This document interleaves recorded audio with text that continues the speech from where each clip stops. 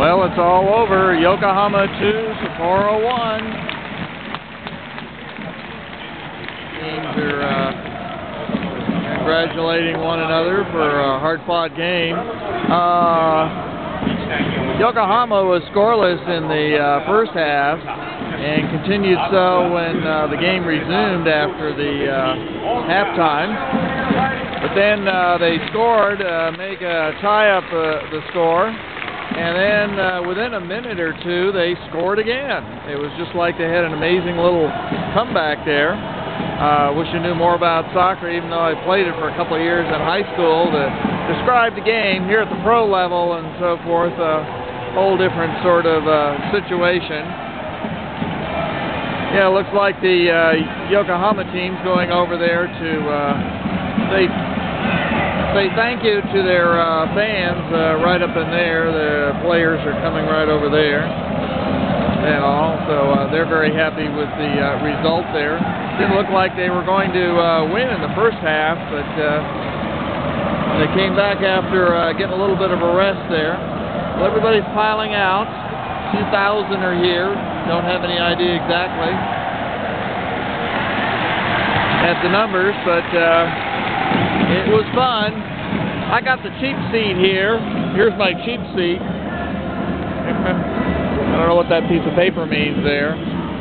But the uh, Sapporo fans, I think, are a little dejected uh, since they were doing so well in the first half. All right, that's sort of interesting. Uh, they're all, uh, the Yokohama teams all got their umbrellas out, spinning them around.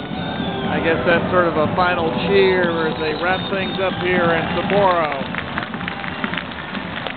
And there's the uh, Sapporo team all lined up, taking bows, uh, giving bows uh, as to what was going on. A lot different than, uh, say, the end of a football game. Uh, the United States, the way we uh, end our games and so forth.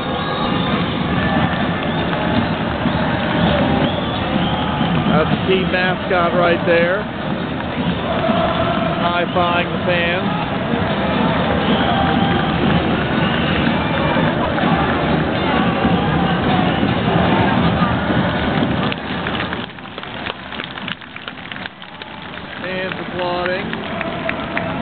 Recognition for their efforts today. Not the outcome I'm sure the home team wanted, but uh, the hometown fans. And here they come over there to their uh,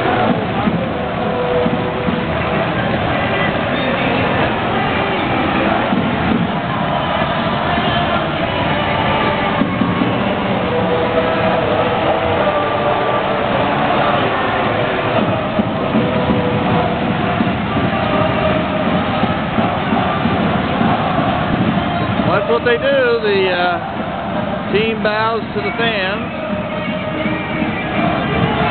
And the fans make it all possible.